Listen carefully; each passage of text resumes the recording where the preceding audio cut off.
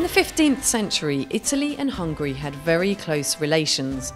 Hungary was hugely influenced by the Renaissance in Florence, and its king Matthias Corvinus set up universities and started libraries. He supported the arts and science and even started a new legal system in Hungary.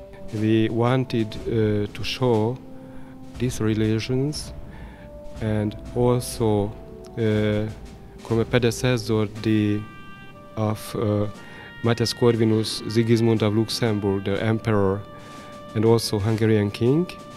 This exhibition shows the close relationship between the two countries and the number of Italians who lived in Hungarian courts, and many Florentine masters were employed by the king. A lot of uh, uh, artists who arrived to Hungary and worked for Matthias in the court of Buda or Visegrad, for example, Benedetto da Maiano, Gregorio de Lorenzo, uh, Chimenti Camicia, he, uh, who was the chief architect of Matthias Corvinus, and and also Francesco Roselli, also mini miniature.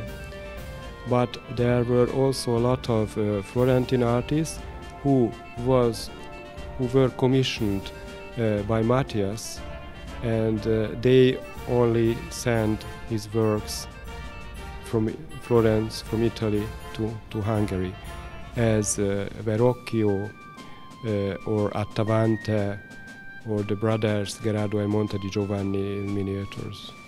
King Corvinus was just 15 when he came to the throne in 1458. His reign is marked by constant struggles for power, battles, invasions, and clashes with the Ottoman Empire. He ruled at the same time as Lorenzo the Magnificent in Italy. This exhibition examines their relationship and the influence on one another. The two leaders had many similarities.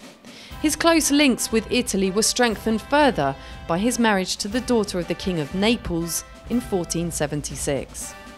This exhibition looks at how Italy influenced the spread of humanism in Hungary. It's held at Museo San Marco, which is famous for its humanist collections by Niccolò Niccoli. Started in 1444, it was the first public library. The exhibition uses paintings, sculptures, and ceramics from 10 countries around the world. The exhibition is on until 2014. For more information, see the Museo di San Marco's website.